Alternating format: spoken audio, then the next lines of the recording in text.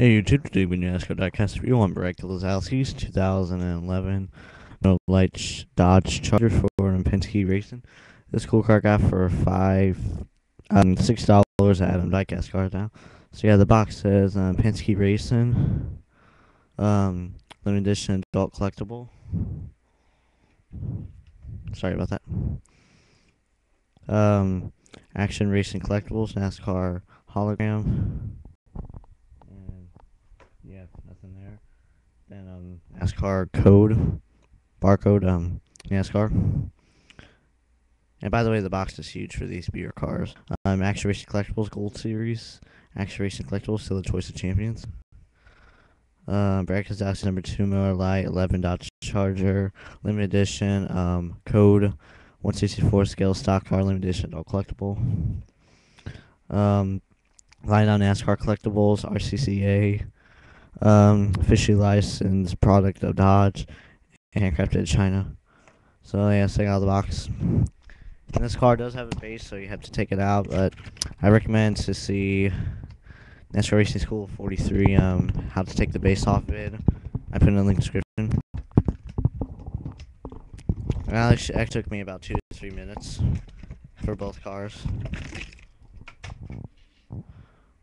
So um yeah, here's is the car. Um very nice car. Um I like the gold rims and the shiny sparkly blue. So yeah, uh, the main colors of this car are um blue, a little bit dark blue, a little bit light blue, white, um various shades of gold and um yeah, I think that's it and a little bit black. So here 360 view, here is the left side. Here's the front, the right side, the back, and the top.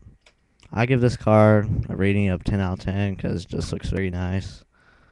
Um, a little bit changes from this year's car than last year's. So yeah, um, the main sponsor is Miller Lite, Shell Pennzoil, Dodge Charger, and it just says Sunoco on the car. Then um, NASCAR Sprint Cup Series, K um, Coolest I Pulled, Lincoln Welders, Moog, K&N, and NASCAR official race car. Um, Brad Keselowski, Mopar, um, DPG, um, Bosch, and Imperialator. Then um, and then um, number two, then Miller Lite, Snap On Dodge, a discount tire Safety-Kleen. Uh, Man Up, Miller Lite, Choose on Taste, Dodge, and Ruby Tuesday on the decklid. And this side's the same with um, Goodyear tires and Sunoco ethanol fuel. So um, yeah.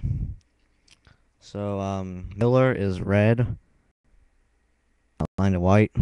Light is blue, and then dark blue outlined in gold and white. Then the logo is like white outlined in blue, outlined in gold, and then white.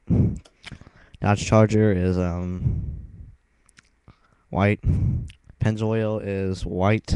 Shell Pennzoil is yellow, outlined in red, outlined in white.